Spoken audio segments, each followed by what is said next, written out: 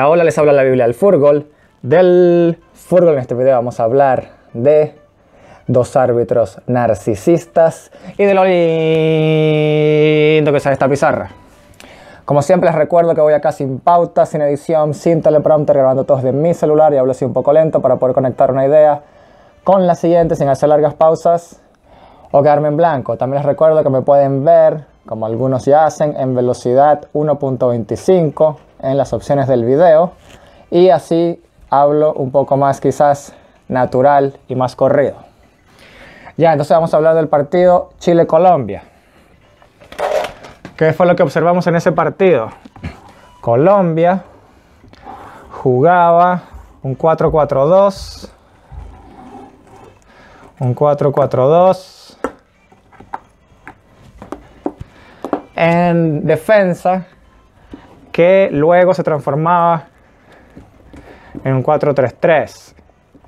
Ya, pero vamos a analizar lo que más nos interesa, que es el 4-4-2 en defensiva. ¿Cuál fue el problema de este partido? Desde el punto de vista de Colombia. La verdad es que no sé qué quisieron hacer ellos, qué quiso hacer Queiroz o los jugadores, no sé, en este partido.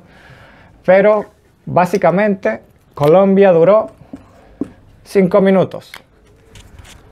Colombia no duró en el partido más de 5 minutos. Los primeros 5 minutos y ya. O sea, no sé si fue que se cansaron o no sé si, si es que quisieron concretar de otra manera, esperar un error, porque la presión fue buena, la defensa, ah, el sistema táctico defensivo fue muy bueno de Colombia. Pero solo duraron 5 minutos, los primeros 5 minutos. Luego no existieron más en el ataque salvo, por supuesto, buenas llegadas.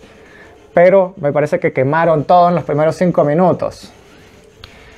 Ya, entonces hay muy poco que decir de este partido. El partido estuvo muy parejo. Eso ya es obvio, no necesitan verme a mí para que yo se los diga. Hubo tres, hubo tres jugadas que vinieron desde la línea de fondo de Chile, que fueron las que hicieron más daño. ¿Ok? Entonces estuvo un poco acertado el análisis que hicimos acá. Y la jugada de offside, ya que es muy cuestionable, donde, eh, bueno, no recuerdo exactamente qué jugadores están involucrados ahora mismo, pero aparentemente el que estaba involucrado era el del centro, el que no tenía nada que ver con la jugada, porque el balón fue para el otro jugador.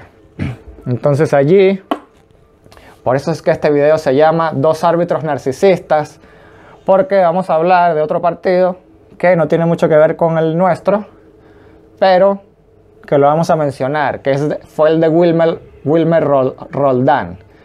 ¿Ok? Es un árbitro muy narcisista. Cuando usted ve un partido y aparece el nombre Wilmer, Wilmer Roldán, usted ya sabe que ninguno de los dos equipos va a ser el protagonista del partido, sino va a ser él. Va a ser el árbitro. ¿Ok? Roldán no le cobró dos penales a Venezuela. Uno donde se lo llevaron a uno de los jugadores como un tren y el otro al final del partido, casi al final, donde hubo una mano. ¿Ok? Donde de hecho ahora por un cambio en el reglamento, al parecer, todas las manos en el área son penales. Pero igual sin esa regla. ¿Ok? fue una mano de una pelota que venía a un centro. O sea, eso fue completamente una mano. Eso era o penal o tiro libre dentro del área, en directo, no sé cómo se cobran esos tiros libres. ¿Ya? Y el otro nombre que usted va a escuchar es Pitana. Cuando usted escucha esos dos nombres, Roldán, o cuando usted escucha Pitana va a ser el árbitro, usted ya sabe desde antes de que comience el partido que ninguno de los dos equipos va a ser protagonista, sino que él va a ser el protagonista. ¿Ok? El árbitro. Entonces muchos me han escrito que cómo se puede solucionar este problema, si incluso hay VAR. Bueno, una de las soluciones que yo planteo es que en el VAR tengamos a árbitros de otras confederaciones, por ejemplo de la UEFA o de la CONCACAF. ¿ok? Claro, esto sería un poco más costoso por traslado de viajes, mantener a ese personal en el país donde se está haciendo el, el torneo, pero es una forma de solucionar estos criterios que no sabemos si están inclinados a un lado o hacia el otro. ¿Ya? Entonces así quizás poder hacer el VAR un poco más independiente de los cuatro árbitros que están en la cancha. Y eh, bueno, esas fueron eh, una de las preguntas que me hicieron eh, en relación al VAR. Oh, sí, lo que iba a decir era que Qatar, Venezuela, Chile y quizás Uruguay en, uno de los goles, en el segundo gol me parece, fueron perjudicados por el árbitro o por el VAR. Ok, pero recordemos que a Qatar también hubieron tres o dos faltas dentro del área que no les cobraron. A Chile la posición de adelanto, lo de Venezuela y Uruguay, no sé exactamente si estaba adelantado o no. Es donde más tengo la duda, pero si hubiese estado adelantado, que quizás pudo ser, tuvo que haber sido por muy poca diferencia, porque no sabemos cómo esos sistemas, si son manuales o si es computarizado, al parecer son manuales, entonces a mí en realidad no me pareció el, que estaba en posición de adelanto, en el segundo gol de Uruguay contra Perú. Ya, en todo caso, sigamos con el análisis. Entonces tuvimos tres opciones de jugadores que fueron al fondo de la cancha. Tuvimos a una Colombia que se quemó en 5 minutos. Y tuvimos, tuvimos pocas faltas, quizás, porque no es tanto como Peckerman, aunque sí hubieron dos faltas tácticas de Colombia muy inteligentes, pero eso es normal. ¿Ok? La formación de Chile, que fue la de los dos primeros partidos, me parece que es una de las formaciones más competitivas que puede tener Rueda con la gente que llamó. Entonces, por ese lado tampoco hay que hay que recriminarle posiblemente no mucho. Él salió a buscar el partido, ¿ok? El portero Arias estuvo muy bien, recibió básicamente un montón de balonazos hacia atrás de su propio equipo, ¿ok? Es algo que no entiendo. Cuando estaba Claudio Bravo, que es un especialista con los pies, no le hacían pases de esa forma, tan riesgosos. Y ayer, al día del partido, vi una cantidad de pases hacia atrás demasiado excesivos, con una fuerza excesiva, una, como con desesperación. Tenemos que recordar que Arias no es un especialista, ¿ok? Pero voy a pensar que fue algo que lo, uh, lo practicaron. Lo quiero pensar así. Ya en cuanto a los pases para la salida, ya eso ya sabemos que eso le va a tomar un tiempo si es que él quiere ser un arquero con buena salida de pies, ya, pero eso no lo cuestiono tanto, sino los pases muy fuertes hacia atrás, aunque él respondió muy bien. Ok, en cuanto al penal, bueno, estuvo los penales, estuvo dos muy cerca de pararlos, hubo uno que falla el colombiano, ya eso no hay que decirlo. Hay que felicitar a los jugadores por los cinco penales prácticamente imposibles de atajar, quizás uno por ahí uh, pudo ser atajable, pero estuvieron muy bien cobrados los cinco penales. Ya con respecto a Colombia, lo único que sí puedo decir con respecto al equipo de Irán, cuando estaba Queiroz, es que en Irán él tenía uno o dos jugadores libres. Uno o dos jugadores que podían estar por toda la cancha. Pero en Colombia, en ese caso era el mejor jugador de Irán. ¿Ok? y me parece que el segundo mejor jugador de Irán también tenía una banda donde él podía hacer prácticamente todo, donde se salía del esquema de Queiroz. En Colombia, no sé exactamente si el primero está tratando de ensayar su sistema rígido para después suavizarlo.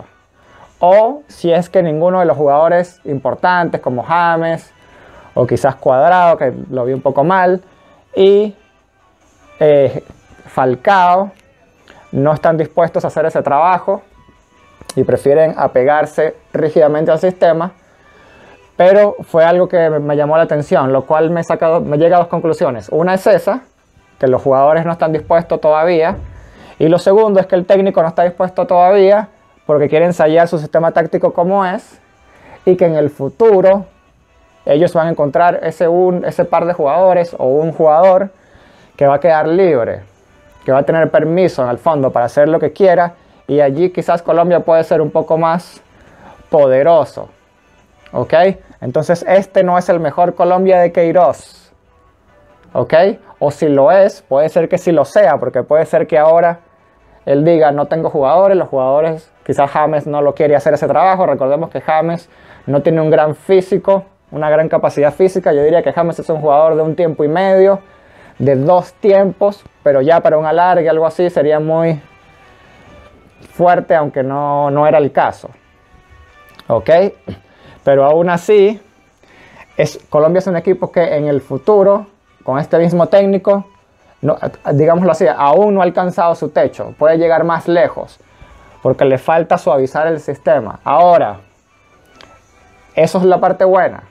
La parte mala es que básicamente Queiroz salió a meterse, salió a cuidar su trabajo a, cuidar su puesto. O sea, básicamente no arriesgó para ganar el partido tampoco. ¿Ok? Eso fue, digamos, los 5 minutos y ya fue. Fue una mala estrategia porque era mejor jugar 90 minutos de igual a igual que tratar de sorprender a los 5 minutos, que quizás le pudo resultar, y desequilibrar el partido y ahí agarrar la manija del partido. Pero me parece que fue una estrategia no muy acertada, especialmente con un rival como Chile. ¿Ok?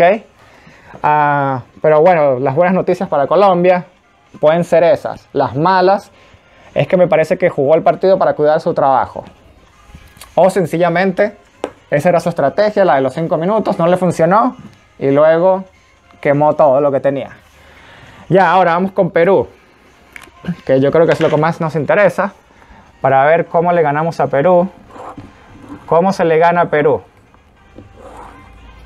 O si no, vamos a hablar un poco del partido Perú-Uruguay, con algunas cuestiones que dije en el Twitter. Una de ellas, recordando el 7-0 de Chile contra México.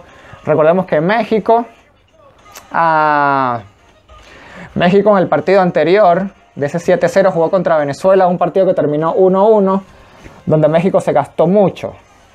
Uruguay, no sé por qué, quiso evitar tanto a Colombia.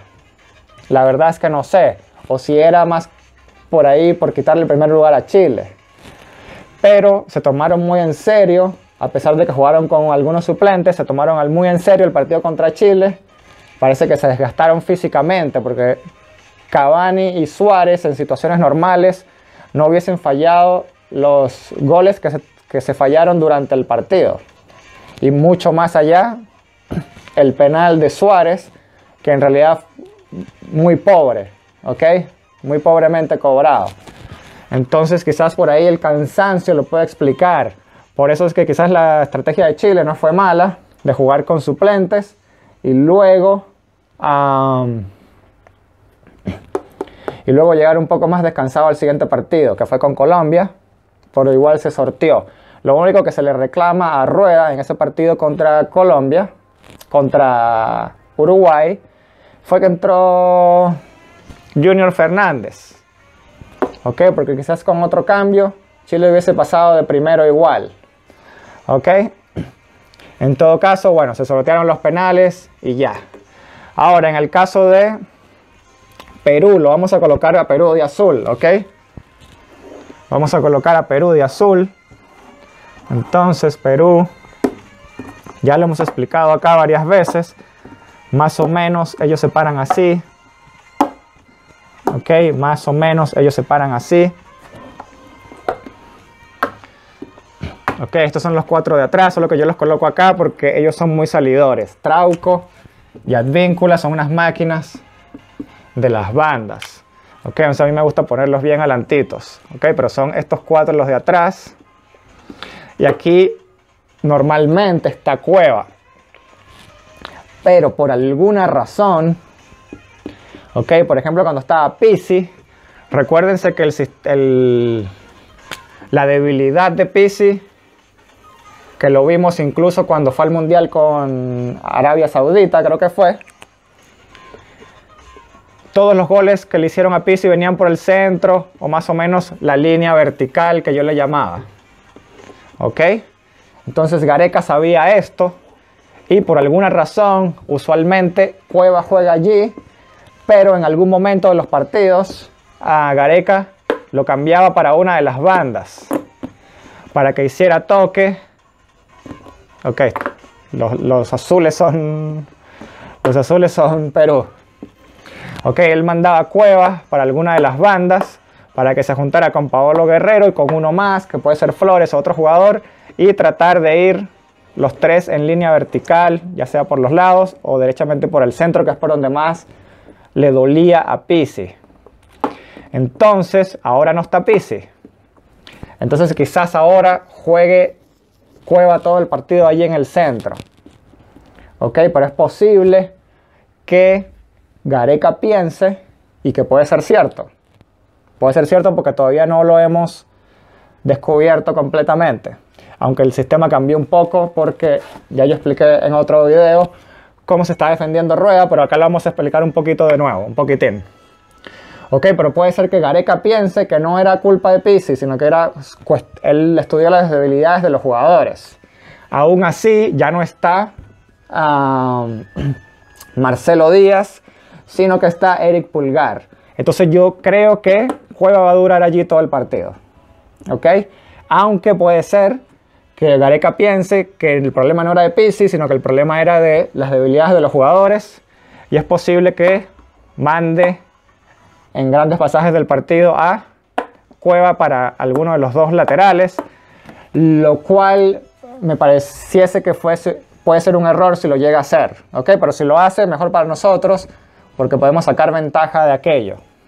Ok, pero recordemos que en los partidos contra Chile, él siempre le gusta poner a Cueva, mandarlo para uno de los dos laterales. Ok, entonces Trauco y Advíncula siempre van a subir. Entonces ya sabemos que a Isla y que a Bocellur, ok, los tiene que cambiar en algún momento. Por favor, si estamos perdiendo el marcador, el cambio no puede ser fue en salida. El cambio tiene que ser isla. Incluso si estamos arriba en el marcador, el cambio debe ser isla, derechamente. Ok, pero no sé por qué Ruedas se empeña en sacar a Fuensalida, igual que Pisi. Ok, yo entiendo que Fuensalida puede que baje un poco en el segundo tiempo, pero baje un poco su nivel, digamos pero me parece que es un jugador lo suficientemente peligroso como para que juegue los 90 minutos. Entonces me parece que los cambios en este partido, especialmente si Perú llega a estar arriba en el marcador, debe ser los laterales, Bosellur y, uh, y también Isla. Me han preguntado mucho quién puede jugar. Bueno, a mí me gusta o paso por acá o paso por Isla y Pablo Díaz por Bocellur de los que convocó. En general, a mí me gusta el Mico Albornoz acá. ¿Ok? A mí me gusta el Mico Albornoz por Bocellur. Pero como no está, Pablo Díaz yo paso. ¿Ok? Pero los dos están en un gran nivel, así que es una preferencia un poquito... Ese orden me gusta más. Es algo personal quizás. ¿Ok? Entonces hay que estar atento a esos dos cambios. Nada más. Para este partido, no sé si Pedro Pablo Hernández puede ser una solución. No sé si Pedro Pablo Hernández puede ser una solución. Ahora, ¿cómo se le gana a... ¿Cómo se le gana a Perú? Ok, por aquí hice como una listita para que no se me fuera nada. Así que voy con pauta hoy. Ok, bueno, eh, Perú a veces se mete atrás y no nos damos cuenta. Ok, ellos se meten atrás para descansar, para respirar. Ok, y nosotros no nos damos cuenta. Ellos a veces nos dan el balón al equipo rival, pero en realidad ellos están dominando todas las acciones. Entonces, al hacer eso, ellos, lo que están haciendo es dosificando para luego venirse al ataque 15 a 20 minutos con todo. Por eso es que ah, la mayoría de los goles de Perú vienen al final del segundo tiempo.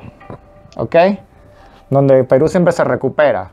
Porque ellos se meten atrás y el equipo rival piensa que está dominando el partido, pero no es así. Ellos están metidos atrás y no nos hemos dado cuenta. Entonces, cuando ellos hagan eso, hay dos soluciones. Bueno, primero hay algo muy difícil de determinar, que es la diferencia entre que se metan atrás y que estamos dominando en realidad nosotros. Entonces es algo muy difícil de identificar. Pero si se logra identificar, y ya voy a dar una de las señales en las que esto puede ocurrir, pero es una, solamente una, pueden haber más.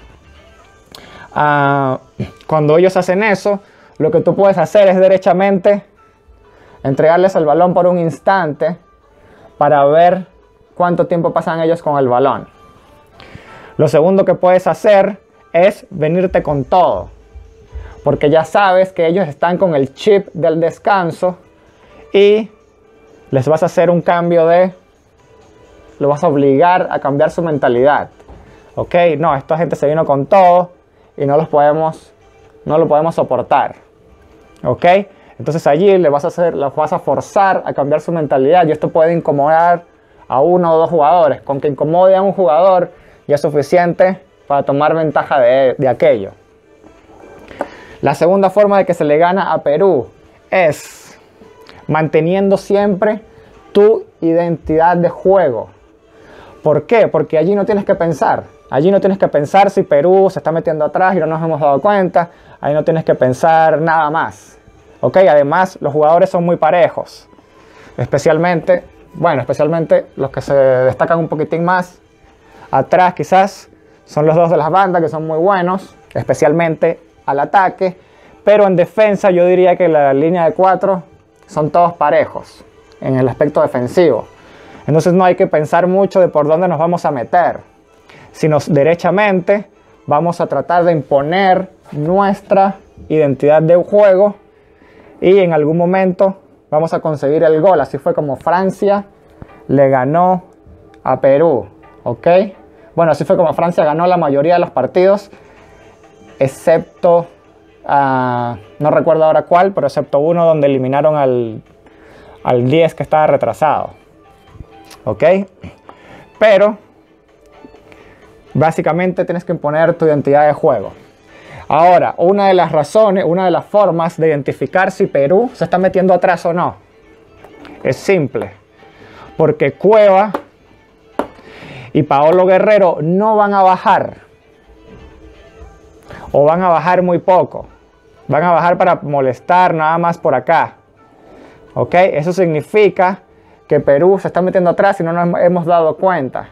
Ahora, cuando ellos en realidad quieren atacar, vamos a ver a Cueva bien metido atrás y a Paolo Guerrero también tratando de salir tocando de una vez con el balón. Esa es una forma de identificar si Perú está metido atrás y no nos hemos dado cuenta o no. ¿Ok? Está Cueva y Paolo Guerrero tratando de salir tocando desde bien atrás para armar la jugada, están atacando en serio. Está Cueva y Paolo Guerrero más en el medio del campo presionando. Perú se está metiendo atrás y no nos hemos dado cuenta. Claro, esto puede suceder en algunos momentos donde realmente sí estamos dominando y ellos no han tomado la decisión de meterse atrás. ¿Ok? Pero si vemos que lo hacen por largos momentos del partido, es porque derechamente están metidos atrás para ellos descansar. ¿Ok? Porque a Perú le gusta jugar fuerte los últimos 20, 15 minutos de partido. Además, ahora con la cuestión del VAR, es muy común dar 5 minutos, 7 minutos de tiempo de compensación. Y allí Perú incluso ah, puede sacar una ventaja de este sistema y tratar de... Se les hace más largo esa ventana del final para ellos imponer esa rapidez que les caracteriza en los finales de partido, donde Perú viene de atrás y viene muy bien, ¿ok? ya, y uh, la otra forma de ganar este partido, hay dos más.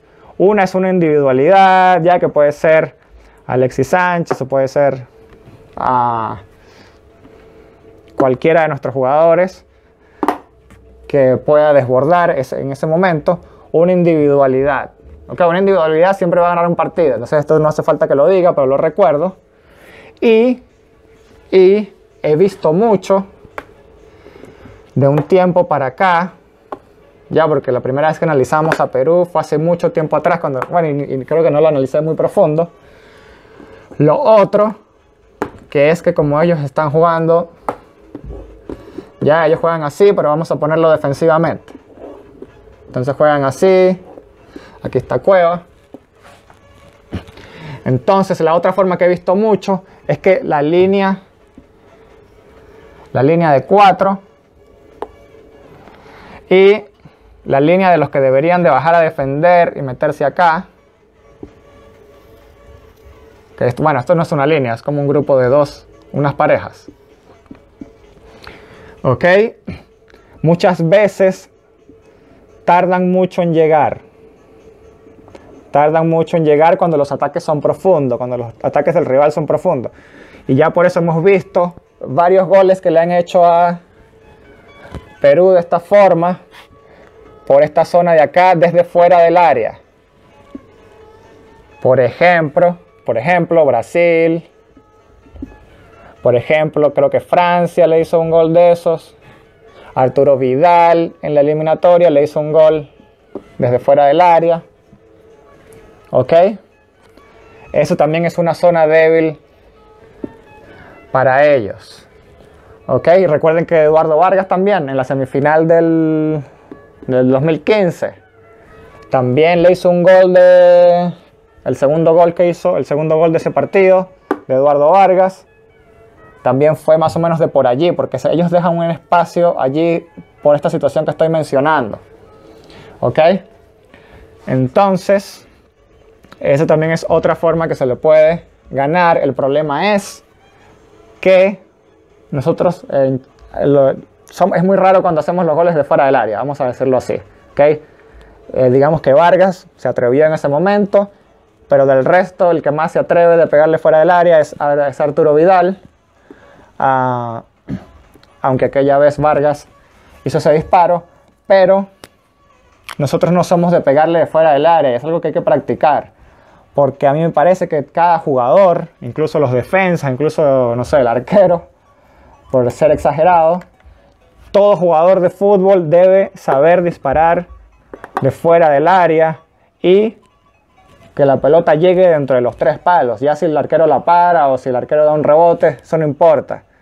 Pero la puntería siempre tiene que estar. ¿ok? Eso es algo muy importante de practicar. Y he visto que los jugadores no se, no se animan a eso. Ok, entonces esto ha sido todo por este video. Ah, oh, no, eso no ha sido todo. Vamos a explicar entonces lo que ya expliqué en otro video. Eh, Isla, eh, Medel, Maripán. Y por acá Pulgar, Vidal. Bueno, Vidal y Aranguis, eso sería lo ideal, pero creo que ahora se están rotando mucho. Ya, porque en realidad ellos van a quedar como una línea cuando vayan al ataque muchas veces. Ok, vamos a colocarlo así, solo por respetar que ese es el puesto de Vidal y este es el de el de Charles Arangues. Ok, hemos dicho ya en un video anterior que antes uno de las debilidades de Reinaldo Rueda era entre medio, entre medio del, perdón, entre medio del central y el lateral, pero que ahora lo ha resuelto porque ahora simplemente Pulgar va allí como un quinto defensa y luego Vidal y Aranguis hacen una línea de 7. Entonces por eso digo que si Gareca quiere hacer su línea horizontal o vertical, no me acuerdo cómo la llamé, vertical de 3, para tratar de ganar como hacía como Pisi, dudo mucho que le funcione. ¿Ok? Al menos que él piense y quizás tiene razón, ¿ok? Aunque no creo, por las características de los jugadores, me parece que sería un error de Gareca intentar esa misma táctica de tratar de hacer ese gol, ¿ok? Ya ese no es el... A mí me parece que eso, eso era una debilidad de Pisi y que por eso la vimos también repetida en Arabia Saudita, ¿ok? Entonces sería un error si él trata de aplicar esa misma situación. Entonces por ese lado estamos a salvo. Eso no quiere decir que, bueno, siempre hay goles de córner, que Perú puede meter un gol de córner, de un tiro libre, de un error. ¿Ok? La otra forma que se le puede hacer gol a Perú. ¿Ok? La salida. ¿Ok? Recuerden que les dije que a Cueva y Pizarro, cuando ellos en realidad si quieren atacar, bajan mucho para salir tocando desde atrás. ¿Ok? Pero ellos salen tocando como si estuviesen atacando acá, porque bueno, solo hay una forma de hacerlo cuando eres delantero. Y si llegas a robar el balón allí en esas pequeñas salidas que ellos hacen, de toques, donde ellos creen, que, ellos creen que estás acá, que si acá lo haces y la pierdes no pasa mucho, porque tienen que recorrer todavía todo el terreno de juego y hacer un, un contraataque más o menos decente para que termine en gol no es un riesgo tan grande. Pero al hacer ese tipo de toques acá saliendo, es otra forma que se le puede ganar a Perú. ¿Ok? Que no es algo que ellos hacen común, porque como mencioné, ellos solo lo hacen, lo harán dos, tres veces por partido, no sé, que bajan cueva ahí, Pizarro a tratar de ayudar cuando ellos realmente quieren ya salir a atacar. Entonces robarle a ellos dos, porque ellos empiezan a tocar sin tener en mente de que no están atacando en esta parte de la cancha, sino que siguen el mismo comportamiento y no toman precauciones de pensar, no, estamos muy cerca del arco, ¿ok? Porque si no, ni siquiera lo intentaran, porque ellos en realidad son delanteros, no tienen las capacidades para estar saliendo tocando así tan descuidadamente desde atrás, porque en, realidad lo hacen muy descuidadamente por lo que he notado. Ok, entonces ahora sí, este ha sido todo por este video. Si les gustó le pueden dar a like, manito para arriba, me gusta. No olviden compartirlo, así más personas pueden ver el video y más personas se pueden suscribir a mi canal. Si no se han suscrito, se pueden suscribir, darle la campanita para que les llegue un mensaje. Y recuerden que tengo un link en la descripción donde tengo una página donde me pueden hacer donaciones si así lo desean. Entonces se despide de ustedes la Biblia del Furgol, del Furgol.